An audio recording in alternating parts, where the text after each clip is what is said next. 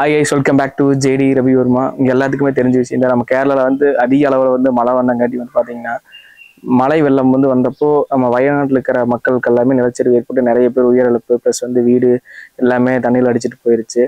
அதற்காக வந்து பார்த்தீங்கன்னா நிவாரணப் பொருட்கள் எல்லாமே நம்ம நண்பர்கள் எல்லாமே சேர்ந்து பண்ணியிருந்தாங்க. ராகவா டெக்கரேட்டர்ஸ் வந்து பார்த்தீங்கன்னா நம்மளை வந்து சொல்லியிருந்தாரு இந்த மாதிரி நாங்கள் பண்ணிகிட்ருக்கோம் இருக்கோம் அப்படின்னு சொல்லி. நல்லா நிவாரணப் பொருட்கள் எல்லாம் சேகரித்து கொடுத்துட்டு இருக்கோம் அப்படின்னு சொல்லி சொல்லியிருந்தாரு. அதுக்காக நானும் கூட போயிருந்தேங்க. கூட போகிறதுக்கு முந்தின நாள் நைட்டு நிவாரணப் பொருள் கொடுத்த நண்பர்கள் அனைவருமே வந்து வீடியோவில் காணொலி பேசியிருக்காங்க அதை பாட்டுவாங்க கேரள வயல்நாடு வெள்ளத்தால் பாதிக்கப்பட்ட மக்களுக்கு எங்களால் முடிந்த உதவிக்கரங்களை நீட்டியுள்ளோம். கொடுவாய் மக்கள் எங்கள் ஊர் சார்பாக எங்களால் முடிந்த நலத்திட்ட உதவிகளை நாங்கள் முடிந்தவரை பண்ணியிருக்கிறோம். கொடுவாயிலேருந்து பேசுகிறோம் கொடுவாயிலேருந்து வயநாடுக்கு கேரளா வயநாடு நிலச்சரிவில் பாதிக்கப்பட்டவங்களுக்கு வந்து நாங்கள் ஏதாவது உதவி உதவி பண்ணலாம்னு கொஞ்சம் நினச்சோம். அது மூலிமா எங்கள் நண்பர்கள் சமூக ஆர்வல் சார்பாக நாங்கள் எதனாலும் ஒரு சின்ன உதவி செய்யணும்னு நினச்சி கொஞ்சம் பொருட்கள்லாம் வசூல் பண்ணி நாங்கள் இன்றைக்கி கேரளா வயநாடுக்கு அனுப்பி வைக்கிறோம். எங்களால் முடிஞ்ச உதவிக்கு எல்லாரும் உதவி செஞ்ச அனைத்து நண்பர்களுக்கும் நன்றியை தெரிவித்துக் கொள்கிறேன். அவங்க மூலியமா தான் எங்களுக்கு இந்த இந்த பொருள்லாம் கிடைச்சது. இந்த பொருளுக்கு அவங்க கொடுத்ததுக்கு மிக்க நன்றியை தெரிவித்துக் கொள்கிறேன். வணக்கங்க. கேரளா மாநிலம் வயநாடு டிஸ்ட்ரிக்ட்ல வந்துங்க மழை வளத்தால் பாதிக்கப்பட்ட மக்களுக்கு நிவாரணப் பொருட்கள் வந்து ஏதாவது கொண்டு போய் சேர்க்கணுங்கிறது எங்களுடைய ஆசை. ஆசைங்கிறத விட அது எங்களுடைய கடமையும் கூட.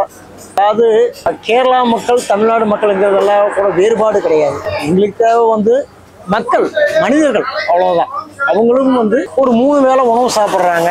அந்த உணவு சாப்பிட்ற கூட இன்னைக்கு பார்த்துட்டிங்கனாக்கா வழி இல்லாமல் மழை வளத்தால் பாதித்து வீடு நிலம் சொந்த பந்தம் எல்லாத்தையும் இழந்துட்டு நிற்கிறாங்க அவங்களுக்கு நம்மளால் என்ன ஒரு உதவி பண்ண முடியுங்கிறதுக்கான ஒரு எங்கள் நண்பர்கள் எல்லாம் உட்காந்து ஒரு கலந்தாய்வு பண்ணோம். அப்போ வந்து பார்த்துட்டிங்கன்னா பொதுவாக இருக்கிற எங்கள் நண்பர்கள் அனைவருமே ஒன்று தண்டு நாங்கள் ஒரு முடிவு பண்ணோம். சரி ஏதாவது ஒரு பொருட்கள் கொண்டு போகலாம் அப்படின்னு யோசித்தோம் அப்போ பார்த்தீங்கன்னா அவங்களுக்கு தேவையான உணவுப் பொருட்கள் குழந்தைகளுக்கு தேவையான தின்பண்டங்கள் பாய் பெட்ஷெட்டு உணவுப் பொருட்கள் பருப்பு அரிசி இதை எங்களால் முடிந்த ஒரு உதவி எல்லாம் ஒன்று சேர்த்து நாங்கள் பொருளாக சேர்த்து வச்சுருக்குறோம். வந்து பாருங்கள் வாகனத்தில் வச்சுருக்குறோம். வந்து பாருங்கள் பார்த்துக்குங்க பிஸ்கட்டு பாய் பெட்செட்டு பெண்களுக்கு தேவையானது குழந்தைகளுக்கு தேவையான பேம்பஸ்ஸு அப்புறம் அரிசி அதே மாதிரி பார்த்துட்டிங்கன்னா எங்களால் முடிஞ்ச ஒரு எண்பது எண்பத்தஞ்சு பை அஞ்சு கிலோ பையில் வந்து ஒரு எண்பத்தஞ்சு பை நாங்கள் கணக்கெல்லாம் எதுவுமே பார்க்கலைங்க. கொடுத்த மக்கள்கிட்ட இருந்து அப்படியே நாங்கள் வாங்கி வச்சுருக்குறோம். நாங்கள் கணக்கு போடுறதுக்கு நாங்கள் விரும்பலை. ஒரு மக்களுக்கு கொடுக்கறத வந்து கணக்கு பார்க்கக்கூடாது அப்படிம்பாங்க. அதனால் நாங்கள் கணக்கு பார்க்க விரும்பலை. அதனால் கொடுத்த பொருட்கள் அனைத்துமே அந்த வாகனத்தில் ஏற்றிருக்கிறோம் இன்று இரவு சரியாக ஒரு பதினோரு மணி அளவில் கேரளாவை நோக்கி பயணத்துக்கு நாங்கள் தயாராக இருக்கிறோம். அதுக்கப்புறம் நம்ம நேரு கேரளா வந்துட்டோங்க. கேரளா வந்ததுக்கப்புறம் நிலச்சரிவு இது எல்லாமே நாங்கள் போயிருந்தப்ப நாங்கள் போன ஏரியாலையுமே இந்த மாதிரி ஒரு சம்பவம் நடந்தங்காட்டி அதனால வந்து எங்களாலையும் கரெக்டாக கொண்டு போய் முகாமில் வந்து கொடுக்க முடியல. அது மட்டும் இல்லாமல் எங்களோட நோக்கம் என்னன்னு கேட்டிங்கன்னா டைரக்டா மக்கள்கிட்டயே கொண்டு வந்து கொடுக்கணும் அப்படிங்கிற எங்களோட நோக்கம். அதனோட காணொலி நீங்க பாட்டுவாங்க காய்ஸ் இப்போ நம்ம வந்து வயநாட்டு பக்கத்தால தான் இருக்குங்க. நம்ம எட்டாம் தேதி நைட்டு வந்து நிவாரணப் பொருட்களை கொண்டு கிளம்புனங்க நைட்டு இன்னைக்கு வந்து பார்த்தீங்கன்னா தேதி ஒன்பது. இங்கே நியர்பை ரீச் ஆகியுமே எங்களால் வந்து கரெக்டாக கொடுக்க முடியல. அதுக்குண்டான காரணம் என்னன்னா மீண்டும் ஒரு நிலநடுக்கம் வந்துருச்சு. சார் அது எங்கே சார் வந்ததுங்க அந்த நிலநடுக்கம்? அதாவது நிலநடுக்கம்ங்கிறது வந்து பார்த்துட்டிங்கன்னா வயநாடு டிஸ்ட்ரிக்டில் மொத்தம் வந்து கேரளாவில் வந்து பார்த்துட்டிங்கன்னா நாலு டிஸ்ட்ரிக்டில் வந்து மீண்டும் நிலநடுக்கம் வந்திருக்குது. சரிங்க. ஒன்று வந்து வயநாடு டிஸ்ட்ரிக்ட் இன்னொன்று மலப்புரம் டிஸ்ட்ரிக்ட் இன்னொன்று பாலக்காடு டிஸ்ட்ரிக்ட் இன்னொன்று கோட்டயம் டிஸ்ட்ரிக்ட் இந்த நாலு டிஸ்ட்ரிக்ட்டுமே வந்து மீண்டும் மதியானம் இன்று மதியம் ஒரு ரெண்டரை மணி அளவில் வந்து நிலநடுக்கம் ஏற்பட்டுருச்சுங்க. அதனால் வந்து நாங்கள் கொண்டு வந்த பொருட்களை வந்து சரியாக கொண்டு சேர்க்க முடியாத சூழ்நிலை. இப்போ வந்து பார்த்துட்டிங்கனாக்கா மேப்பாடிங்கிற ஏரியாவில் தான் நிலநடுக்கம் ஏற்பட்டிருக்குது. நிலச்சரிவும் ஏற்பட்டிருக்குது. அதனால் இப்போ அங்கே வந்து அதுக்கும் இப்போ நாங்கள் நிற்கிறதுக்கும் வந்து பார்த்துட்டிங்கனாக்கா முப்பத்தி ஏழு கிலோமீட்டர் மீனங்காடிங்கிற ஒரு ஊரில் தான் நிற்கிறோம் மீனங்காடிக்கு பக்கத்தில் சூதுபாறைங்கிற ஒரு ஒரு சின்ன கிராமத்தில் தான் இருக்கிறோம். நம்ம ஒரு நண்பர் நம்மளுக்கு கொண்டு வந்த பொருட்களெல்லாம் வந்து பாதுகாப்பாக விற்கணுங்கிறதுக்காக நம்மளுக்கான ஒரு செட்டை வந்து அவர் ஏற்பாடு பண்ணி கொடுத்துருக்காரு. அவருடைய நண்பர் வீட்டை நமக்கு கொடுத்துருக்காரு. அந்த வீட்டை பார்த்துக்க அப்படியே. இங்க பாருங்க நம்ம கொண்டு வந்த பொருட்கள் அவருடைய வாகனம் இதுதான் அந்த வாகனம் தான்.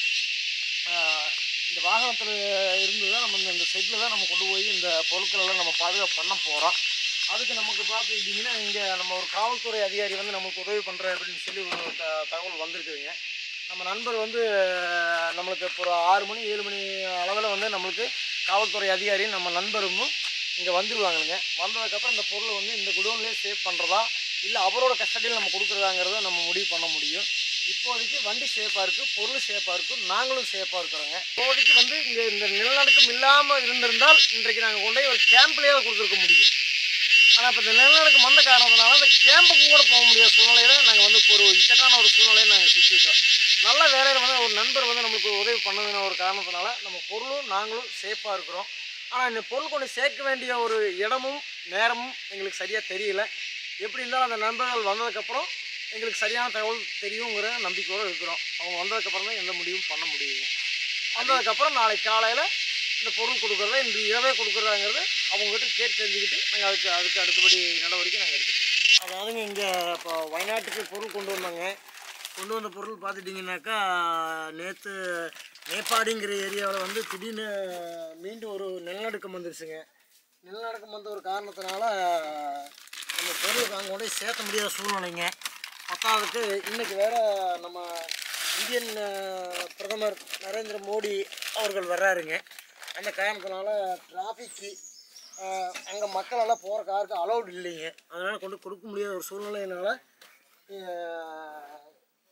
இன்றைக்கி இன்னைக்கு பார்த்துட்டிங்கன்னா இங்கே ஒரு நம்ம நண்பர் வீட்டிலேருந்து இந்த பொருளெல்லாம் எடுத்து அடுக்கி வைக்குதுங்க. அடுக்கி வச்சு போட்டு நாளைக்கோ நாளானிக்கோ நம்மளுக்கு அந்த கொடுக்குறதுக்கான கேரளா கவர்மெண்ட் கொடுக்குறதுக்கான நம்மளுக்கு பர்மிஷன் கொடுக்கும்போது வந்து கொடுத்துடலாமுங்கிற ஒரே காரணத்துக்காக தான் இப்போ இது எல்லாத்தையும் இறக்கிட்டு இருக்குதுங்க. இறக்கி வச்சுட்டு கூட அடுக்கிற இடத்தையும் கூட காட்டிடணுங்க. வைக்கக்கூடிய இடத்த பார்த்துக்குங்க. இது ஒரு சேஃபான ஒரு இது செட்டு தகடா செட்டு இங்கே தான் வச்சுட்டு இருக்குதுங்க பொருள். பாதுகாப்பாக இருக்குன்னு சொல்லி வச்சுருக்குறோம். அடுத்த நாள் காலையில் நம்ம கரெக்டாக பிஎம் மோடி வந்து வர்றாரு. அதனால் வந்து நம்மளால் கரெக்டாக கொடுக்க முடியல. அதனால் இங்கே இருக்க ஸ்டாக் எல்லாமே நம்ம நண்பர் வீட்டில் வந்து இறக்கி வைக்கிறோம்.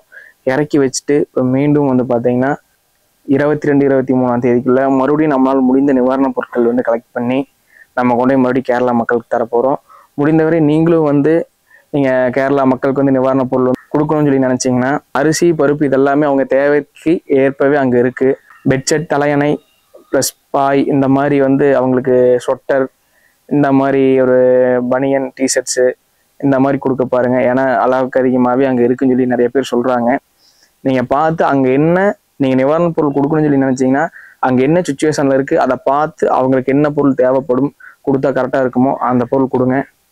ஓகே மக்களே மீண்டும் வந்து பார்த்தீங்கன்னா அடுத்த டைம் போகிறதுமே ஒரு வீடியோவை எடுத்து போடுறோம். அது மட்டும் இல்லாமல் கேரள வெள்ளத்தில் பாதிப்பு மக்களோட நிலையும் அடுத்த வீடியோவில் நீங்கள் பார்ப்பீங்க கண்டிப்பாக ஓகே நன்றி வணக்கம்.